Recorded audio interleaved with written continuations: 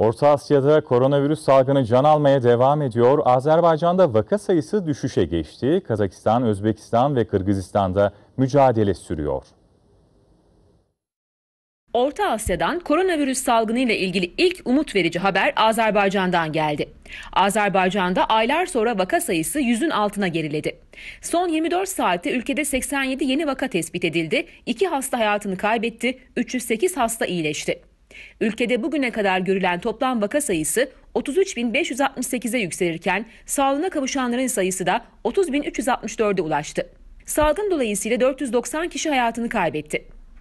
Özbekistan pandemiyle mücadele sürecinde hastane inşasına başladı. Ülkede bugün itibariyle 738 kişi daha Covid-19'a yakalandı. Toplam vaka sayısı 30.197'ye ulaştı. Hastalık sebebiyle 190 kişi de hayatını kaybetti.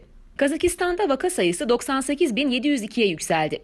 Bugüne kadar 72.273 kişi hastalığı yendi, 1058 kişi ise mücadeleyi kaybetti. Ülkede 12.110 kişiye de zatüre teşhisi konuldu. 137 kişi bu hastalıktan hayatını kaybetti.